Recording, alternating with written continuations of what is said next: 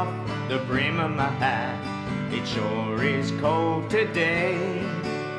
And here I am walking down 66.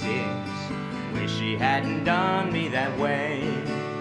Sleeping under a table in a roadside park, a man could wake up dead. Sure seems warmer than it did, sleeping in our king size bed. Is anybody going to San Antonio or Phoenix, Arizona? Oh, any place is alright as long as I can't forget I've ever known her.